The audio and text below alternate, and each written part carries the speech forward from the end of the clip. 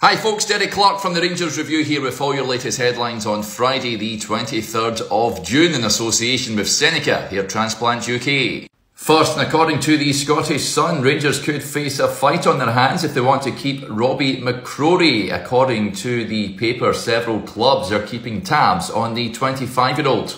According to reports in Spain, Rangers face competition from Real Valladolid, Fulham and Anderlecht for Bordeaux striker Josh Maja.